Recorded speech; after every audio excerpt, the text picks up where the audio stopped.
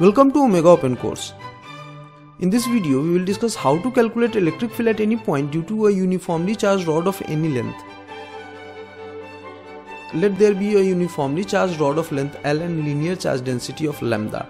Suppose we have to find the electric field due to this rod at a point which is at a perpendicular distance of r from the rod. Let us take an infinitesimally small part of the rod which lies at an angle theta from the perpendicular line and which subtends an infinitesimally small angle d theta at the point.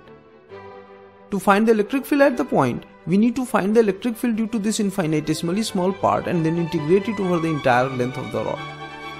To find the electric field due to this small part, we need to find its distance from the point and charge on it.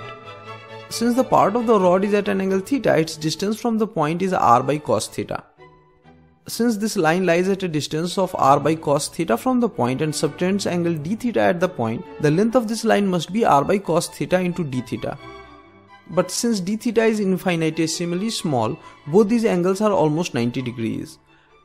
From simple geometry, we know that the rod makes an angle theta with this line. Hence the length of the small part of the rod is r d theta divided by cos square theta.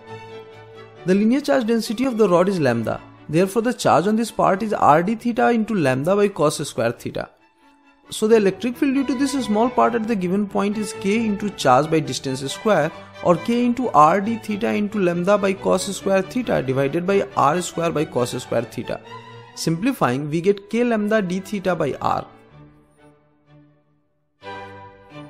Now this is where the fun starts. Let us draw an arc with center at the given point and radius equal to r such that it subtends exactly the same angle at the point as the rod. Also, let us give the arc some charge so that its linear charge density is same as that of the rod. Take an infinitesimally small part of this arc which too lies at an angle theta and subtends angle d theta at the center. Since this part is at a distance r from the center, its length is r d theta and charge on it is lambda into r d theta.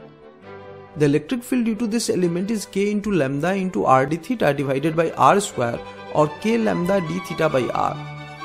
So you can see the magnitude as well as the direction of the electric field due to the small part of the arc is equal to that due to the small part of the rod. For each part on the rod there lies a corresponding part on the arc which produces same electric field.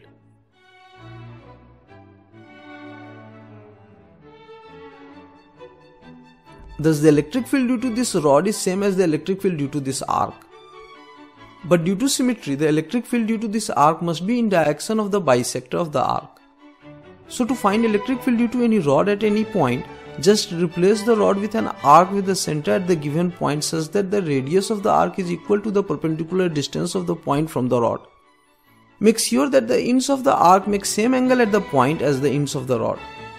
Also keep the linear charge density of the arc same as that of the rod.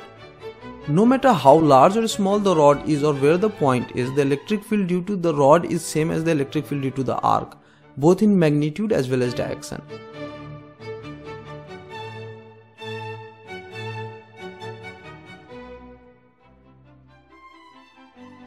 Now to find the magnitude of this electric field, let the element be at an angle phi with the bisector subtending angle d phi at the center. As we have already calculated, the electric field due to this element is k lambda into d phi divided by r. Also, from symmetry, we know that the net electric field is along the bisector of the arc. So we only need the component of the electric field in the direction of the bisector which is equal to k lambda d phi divided by r into cos phi. Integrating this field over the entire arc will give us the electric field due to the arc as well as the rod. If the arc subtends an angle alpha at the point then the limits of the integration is minus alpha by 2 to alpha by 2. Integrating we get 2k lambda sine alpha by 2 divided by r. Thus to summarize, to find the electric field due to a rod at any point, replace the rod with an arc of same linear charge density whose center is at the point and radius is equal to the perpendicular distance of that point such that the arc subtends same angle at the point as the rod. If the arc subtends an angle theta at the center, the electric field due to it is 2k lambda sine theta by 2 divided by r and direction is along the bisector of the arc. Like and share the video to help other students find us. Check out our other videos on theories, tools and techniques of physics. The links are shown on the screen. Subscribe the channel, like our Facebook page, follow us on Twitter and support us on Patreon. The links are given in the description. Thank you for watching.